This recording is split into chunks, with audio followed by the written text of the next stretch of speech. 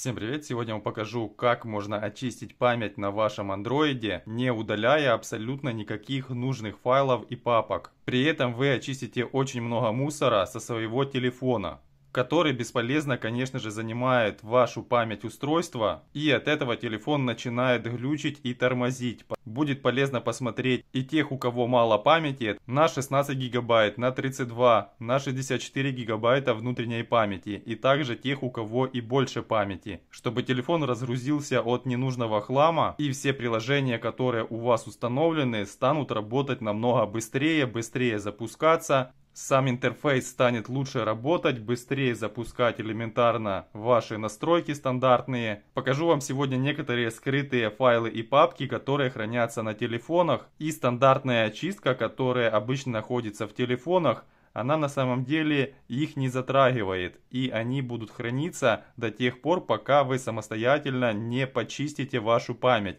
Вот, допустим, нашло 1.87. Ну, вроде бы и немало, да? Но если мы нажимаем «Очистить», вот вы зайдете сюда через 2-3 часа, там уже будет примерно столько же. Потому через стандартную очистку, к сожалению, вы не сможете добиться хороших результатов, да и вообще, навряд ли вы что-то почистите, потому что вот я только что очистил, но памяти, я уверен, не прибавилось. Поддержите это видео лайком, подпишитесь на канал и поделитесь с друзьями. На самом деле, как почистить телефон, есть очень много разных вариантов. Есть много разных файлов, папок и так далее. Но если проделывать вот такие очистки, то, понятное дело, не всем удается почистить хорошо память. Бывает такое, что вот эти файлы у кого-то не находятся, хотя память у вас забита, или находится на очень мало, вы там выделяете и всего почистили там несколько мегабайт. Ну, это, скажем, мягко говоря, очень и очень мало. Так вот, сейчас я вам покажу еще один из вариантов, который может быть, когда у вас память реально забита. Его нужно просто-навсего вам перепроверить, потому что вы можете потерять очень много памяти, и она у вас будет забита до тех пор, пока вы не зайдете в такие настройки, которые я сейчас покажу. Когда вы пользуетесь вашим телефоном, понятное дело, вы постоянно что-то устанавливаете себе, какие-то приложения, какие-то программы, какие-то утилиты. Вы, допустим, установили приложение или игру, посмотрелись, поигрались, вам она не понравилась, вы берете и удаляете. И так, понятное дело, делает абсолютно каждый, кто пользуется смартфоном. И вот у вас может быть два варианта забитости вашей памяти. Первый это когда у вас приложение задублировано, допустим, вы установили себе приложение WhatsApp. Вы не пользуетесь на постоянной основе но установочный файл также хранится в вашем телефоне в скрытых папках. И получается так, что занимает такое же самое место, как и сам WhatsApp. Еще раз повторюсь, что это только пример насчет WhatsApp. На самом деле, я имею в виду, что это может быть абсолютно любое приложение, которое у вас установлено. Какая-то игра, либо что-то еще. Второй вариант. Вы, допустим, установили какую-то игру или приложение, вот вам она не понравилась, вы взяли вот таким образом – выделили и нажали удалить.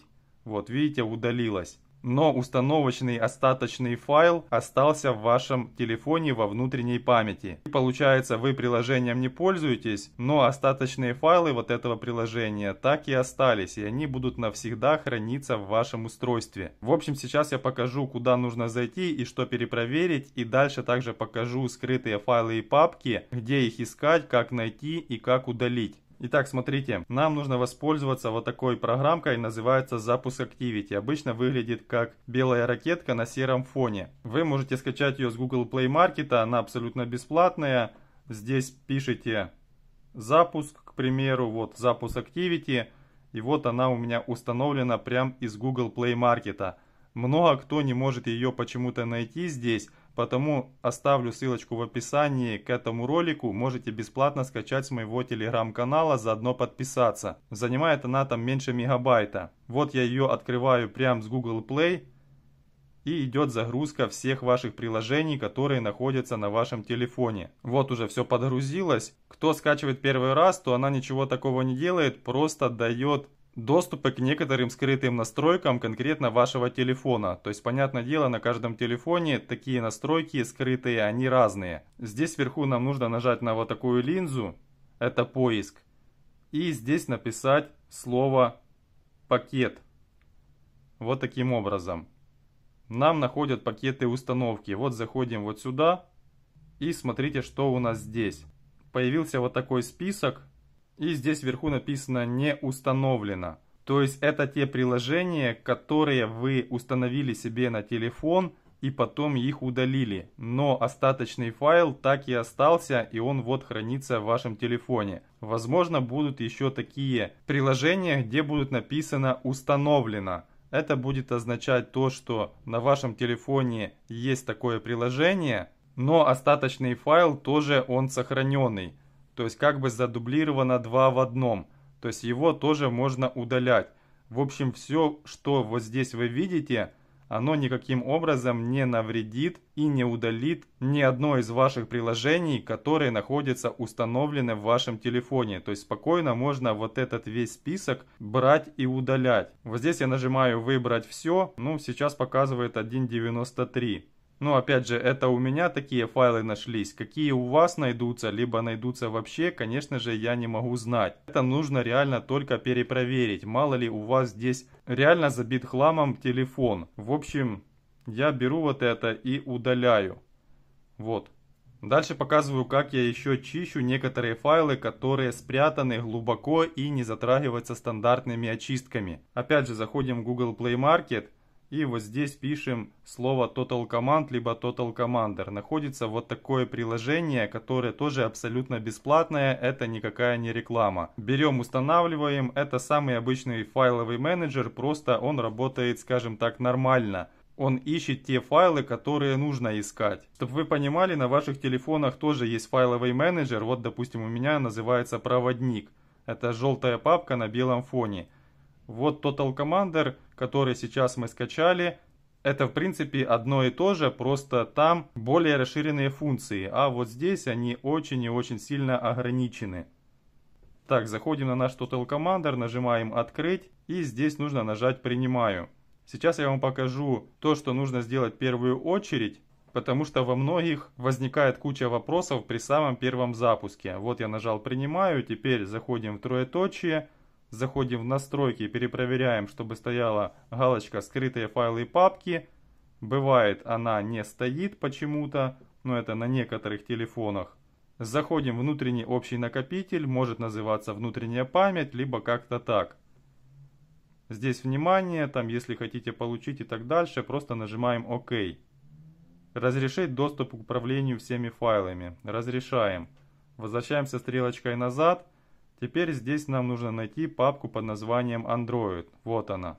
Заходим сюда. Первое. Заходим в папку Media. Дальше заходим ком WhatsApp. WhatsApp. Здесь нужно удалить две папки под названием Trash и под названием Backups. Trash это корзина, в которую сохраняются уже удаленные объекты. К примеру, вы удалили фотографию какую-то, картинку, видео какое-то, но оно не удалилось, а сохранилось конкретно в такую скрытую корзину.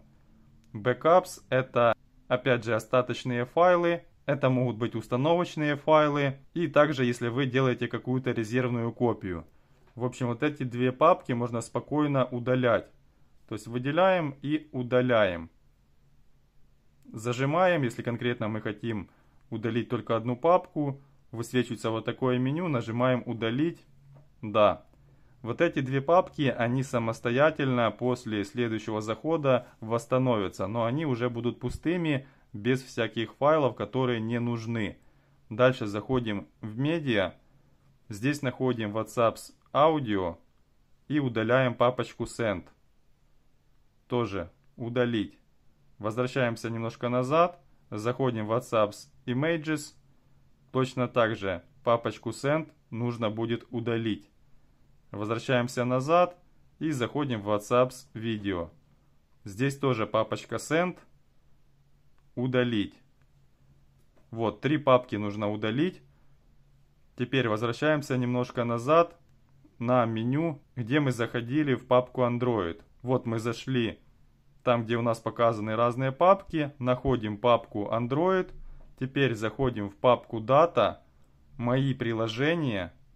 Если вам высвечивает доступ запрещен по какой-то причине, просто нажимаете «Повтор». «Повтор», Здесь защита от записи стоит в зависимости от андроида. Если выше 11 версии, то будет писаться вот такое. Если ниже, то ничего не напишет. В моем случае я нажимаю просто «Да». Меня перебрасывает вот на такое меню. Здесь я ничего не нажимаю, только использовать эту папку нажимаю вот внизу. Разрешить. Ну, в принципе, и все. Вот здесь опять же заходим в мои приложения, и мы попали туда, куда нужно. Здесь нужно нажать на поиск, удалить вот эту звездочку, вот я удаляю ее. И здесь нужно написать слово YouTube. Писать нужно все с маленькой буквы, как вот здесь. Если написала, допустим, какую-то с большой, какую-то с маленькой, нужно изменить на маленькие. И вот видите, здесь у меня пробел. То есть не должно стоять никаких пробелов. Вот я удаляю вот этот пробел. И теперь нажимаю поиск. Вот, и теперь нужно дождаться, пока нам найдет хотя бы одну из папок. Почему конкретно YouTube? Потому что вы смотрите даже сейчас видеоролик на YouTube и сохраняется потоковая информация конкретно ролика, который вы не досмотрели. А в течение дня вы можете просматривать реально там и 100, и 200, и 300 роликов. И вот каждый файлик вот этот занимает по 5 мегабайт как минимум. Это сделано для того, чтобы когда вы возвратитесь к предыдущему ролику, который вы не досмотрели, то он будет начинаться с той минуты, на которой вы закончили смотреть. Но задайте себе вопрос, будете ли вы возвращаться к каждому ролику, который вы смотрели на протяжении дня, повторно, чтобы его досмотреть. Да, некоторые видео интересные и, допустим, я бы хотел бы досмотреть какой-то видеоролик, но из 300 роликов, которые я просмотрел за день, ну, возможно, найдутся таких один, два или три. А может, я вообще и ничего не буду пересматривать. Вот, кстати, мы дождались, пока разговаривали, нам нашло одну папку. Вот когда нам находит одну папку, вот видите, ком Google Android YouTube, мы уже можем на этом этапе нажимать «Отмена».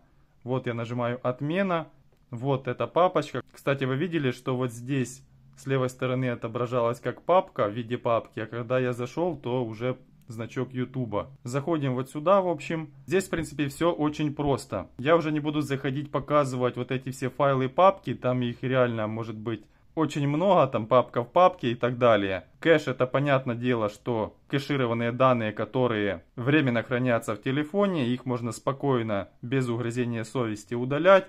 Просто берем, выделяем вот эту папку и полностью удаляем. Вот, удалили.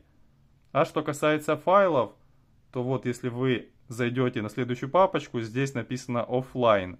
То есть что это означает? Это то, что закачались вот эти ссылочки, вот эти кусочки файлов в вашу память устройства. Ну и они там будут храниться до тех пор, пока вы их самостоятельно не удалите. И, кстати, мы делали очистку через стандартное приложение – так вот, она вот эти файлы не затрагивает. В общем, берем просто вот эту папку и удаляем.